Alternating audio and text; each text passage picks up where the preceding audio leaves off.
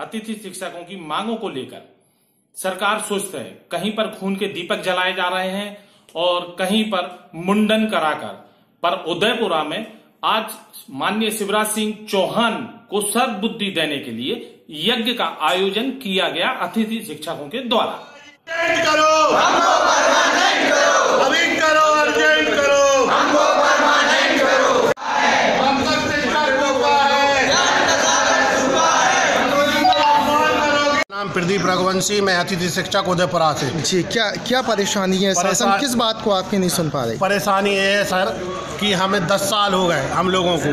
पैंतीस सौ रुपये सिर्फ़ हमें मानदेय मिलता है और परीक्षा की टाइम परीक्षा करवा के जे लोग हटा ले हटा देते हैं हम लोगों को। अब आप बताइए, पैंतीस सौ, पैंतालीस सौ रुपये और पच्चीस सौ रुपये तीन वर्ग में बांट रखा है, मध्य प्रदेश सरकार ने हम अतिथि शिक्षकों को।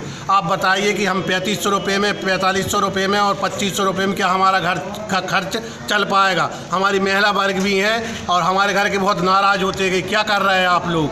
तो हम कहते हैं उनसे अतिथि शिक्षक, हमारे साथ भेदभाव किया जाता है। हम जहाँ जहाँ की शालाओं में जाते हैं, उस शाला में हमसे भेदभाव किया जाता है, जो परमानेंट टीचर होते हैं, वो हमारी बातें सुनते नहीं हैं। हमें नौकर जैसे नौकर से बदतर स्थिति पर, मध्य प्रदेश सरकार ने, माननीय शिवराज सिंह चौहान ने हमको रख दिया है, वो हमसे बहुत भेदभाव करते हैं। और हमको ना सही से, सही समय पर वेतनमान मिलता तीन तीन महीने वेतनमान नहीं मिलता, सर। अब आप बताइए, हमारा घर परिवार कैसा चलेगा?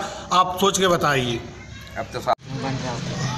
क्या नाम है आपका और किस वजह से आपने अभी जो यज्ञ किया है क्या किस वजह से आहुतियाँ दी हैं आप? मेरा नाम भोजराज लोधी है मैं अति शिक्षक संघ ब्लाक अध्यक्ष हूँ और जो आज उदयपुरा ब्लाक में आज जो यज्ञ किया गया है हवन किया गया है। हमारी मांगों को लेकर किया गया है। शासन को हम सद्बुद्धि के लिए सीएम साहब को सद्बुद्धि के लिए यह यज्ञ किया गया है कि हमें नियमित किया जाए हमको परमानेंट किया, किया जाए। इस उद्देश्य से हमने यह यज्ञ किया है। मेरा नाम आरती सोनी है। मैं उत्कृष्ट स्कूल से हूँ उदयपुरा शिक्षक से। और मैं अतिथि शिक्षक में हूँ और मैं ये कहना चाहती हूँ कि हम महिला वर्ग होके भी अपना टाइम निकाल के घर गृहस्थी का काम छोड़ के और बच्चों को भी साइड में रख के अपने स्कूल का काम निभाती हूँ। जी। और बच्चों को आगे बढ़ने के लिए हर तरह से अपनी मेहनत करती हूँ कि उनका रिज़ल्ट सुधरे और सभी शिक्षकों के सहायक बने।